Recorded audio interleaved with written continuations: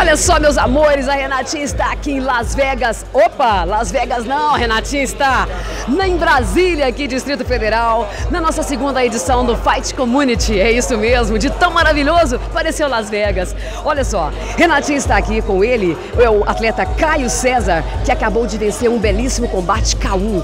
Meus amores, categoria 91 quilos é de muito respeito. Ou ele enfrentar um gordinho ou então um bombado. O cara tem que ser muito macho. Olha só, ele da equipe, da equipe Academia Center Fight, desse cara aqui que assina esse bagulho.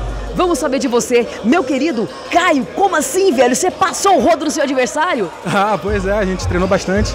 Eu e meu mestre, a gente sempre captou muito ali nos fundamentos da luta.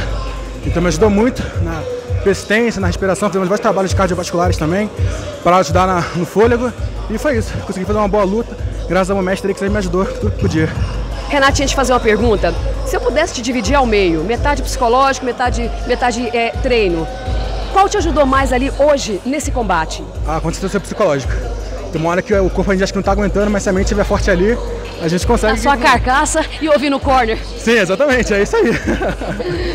querido, uma pergunta que a Renatinha gostaria de fazer, agora um pouquinho do emocional. Sim. Se eu pudesse fazer uma endoscopia lá no seu coração, entrar com uma câmera de filmagem, o que está no seu coração? O que, que te motivou? O que, que, o que, que moveu você hoje para que você estivesse aqui e vencesse esse belíssimo combate? Ah, primeiramente foi a força de vontade do meu mestre, que acabou me incentivando também, claro, além da minha, mas com certeza por ele acreditar em mim, me deu muito mais força para continuar do que só se fosse eu mesmo.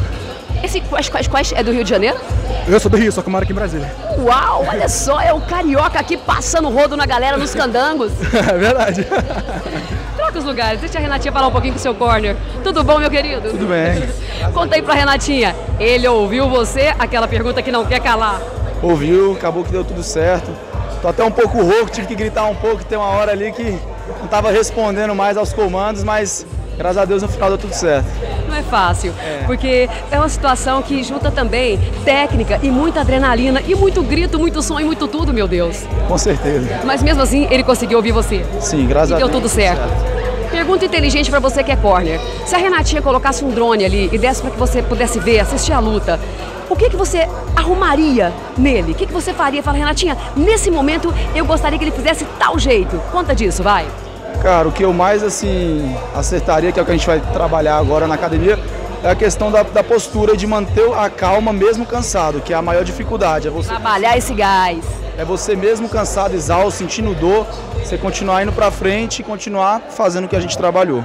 Isso é muito interessante que você está dizendo, professor. Isso acontece muito no Muay Thai. Quando vai dando ali primeiro, segundo, terceiro, quarto, quinto round, o Yoksutai, cara, o que manda ali é o o atleta que está intacto. Ele está morto, mas ele está firme, igual prego em gelatina, mas está firme, não é assim? Exatamente. Meus queridos, sabadão e você ganhou. A Renatinha vai deixar o microfone aqui no alto para que vocês dois possam dar aquele grito de alegria. Falam no nome da equipe de vocês para todo o nosso Brasil. Um, dois e fui! Bora, Manditai! É Fui, meus amores! Pera aí, meninos.